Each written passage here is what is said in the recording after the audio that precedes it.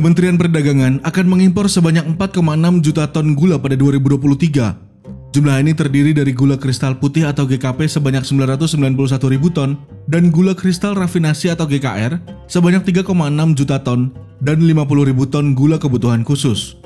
Menteri Perdagangan Zulkifli Hasan mengklaim keputusan ini bukan keputusan Kemendak semata, melainkan diajukan oleh Badan Pangan Nasional atau Bapanas dan akan dilaksanakan oleh BUMN. Berdasarkan data Kementerian Perindustrian, kebutuhan gula nasional pada tahun 2022 saja kebutuhan konsumsi mencapai 3,2 juta ton GKP dan industri sebanyak 3,27 juta ton GKR. Untuk konsumsi, produksi GKP nasional pada 2023 diklaim Zulhas hanya bisa menghasilkan 2,6 juta ton, sehingga terdapat selisih 600 ribu ton untuk menutup kebutuhan nasional. Gula kristal putih 991 ribu ton untuk konsumsi karena produksinya 2,6 juta. Kebutuhan 3 juta ton lebih, makanya harus impor. Ujar Zulhas dalam jumpa pers secara virtual Senin 2 Januari 2023. Untuk GKR yang akan diimpor, Zulhas menyebut kebutuhan impor tersebut merupakan permintaan dari Kementerian Perindustrian atau Kemenperin. BPS sendiri mencatat perkembangan produksi gula nasional tergolong fluktuatif selama 2017 hingga 2021. Jumlah produksi tertinggi mencapai 2,35 juta ton dan masih di bawah konsumsi nasional sebesar 3 juta ton.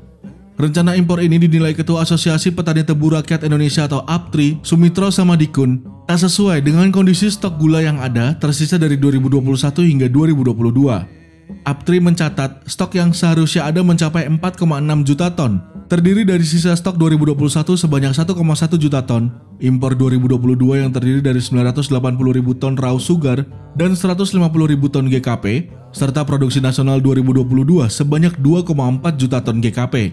Pada 2022 ini, Aptri mencatat peningkatan jumlah produksi gula sebanyak 2,4 juta ton, naik 50 ribu ton dari 2021 yang hanya menghasilkan 2,35 juta ton gula. Jumlah ini belum ditambah dengan jumlah kuota impor 2022 yang sudah masuk, sebanyak 300 ribu ton pada akhir 2022.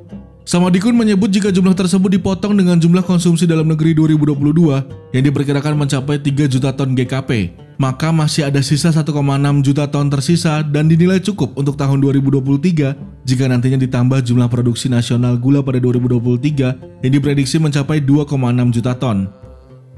Kalau dengan asumsi 250 ribu ton sebulan kan paling kalau sampai 6 bulan 1,5 juta ton. Belum lagi kalau ada GKR yang bocor ke GKP 10 persennya 350 ribu ton. Ditambah dengan gula impor hampir 1 juta. Konsumsi satu tahun terpenuhi lalu panen kita siapa yang beli? Ujarnya. Kondisi ini dikhawatirkan akan mengganggu produksi dan harga gula dalam negeri. Selain itu, negara importir juga pasti saat ini juga akan mengetatkan ekspornya dengan harga yang cukup tinggi dengan kondisi krisis pangan yang menghantui secara global. Dari susah cari impor, mending kita dorong petani kita untuk tingkatkan produksi. Lebih baik kita push petani, belum terlambat. Tidak hanya untuk petani tebu, tapi juga komoditas lain. Tutup sama Dikun.